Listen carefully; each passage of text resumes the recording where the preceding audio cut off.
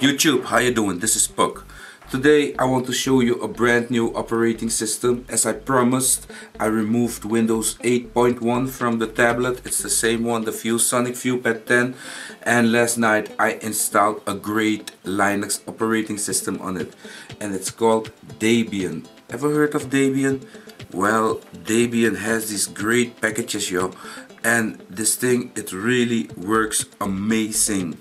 Amazing. And um, yeah I'm gonna give you a look at the operating system and I'm gonna show you where you can download it. And this also runs uh, on your uh, on your tablet on your computer on your um, laptop you know. This is a professional operating system by Linux and I'm gonna show you how you can get it and how to install it it's not so hard most of the stuff goes automatically. You can download a small ISO file from 200 and something megabytes and when you create a bootable ISO USB, when you create a bootable USB stick from that file that you downloaded, you must do that with Power ISO, won't work with UNetbootin and then you boot up and then the rest will go automatically. It will also download all the packages. It's a net install and then after a while you know your system will reboot and you will have uh, Debian Linux installed on the system.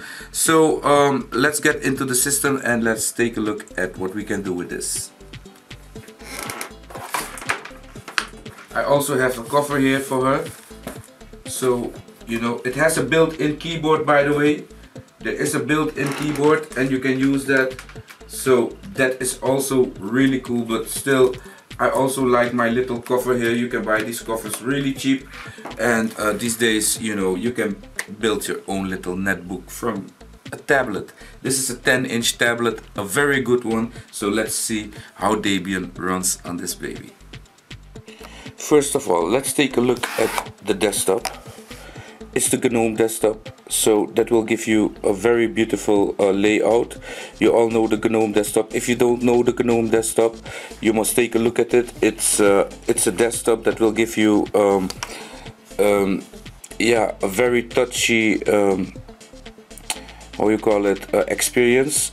And up here you have all the sections that will bring you to the various stuff that is installed on this machine. There are also some games um, yeah I can say that uh, it all looks uh, really nice. You know it's no big deal. It runs from out of the box. Uh, what you must do is just uh, yeah download the ISO file as I said and then you know install it via a bootable USB stick created with Power ISO.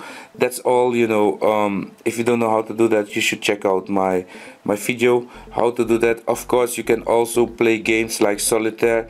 Um, you can put it to full screen, and you will have a great experience by you know just moving things around and you know um, oops you know you can do all these things it's really really cool um, no big deal though um, the program is free and you can download it uh, just uh, for personal use or maybe if you have an office or so you can also buy the packages. They also sell a complete package. They have computers running Debian. So yo this is a kind of Apple operating system.